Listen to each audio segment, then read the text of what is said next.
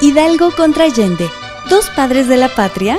Hacia 1810, Ignacio Allende, capitán del regimiento de dragones de la reina, era uno de los principales conspiradores. Hombre carismático, podía ganarse a muchos militares para la causa de la libertad y se movía entre las juntas de Querétaro y San Miguel el Grande.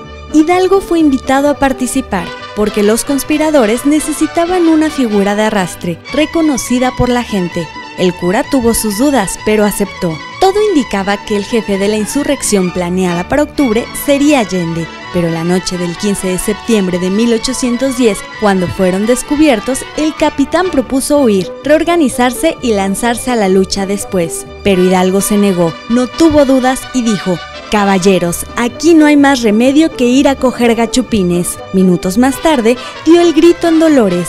A partir de ese momento, Hidalgo le arrebató el liderazgo a Allende y la historia cambió para siempre.